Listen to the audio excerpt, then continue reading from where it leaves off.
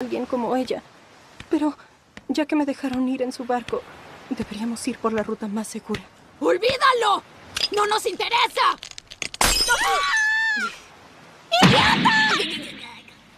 ¿Eres tonto? ¿Cambió de parecer solo para enseñarnos una ruta más accesible? ¿Qué tal si en verdad es una buena persona?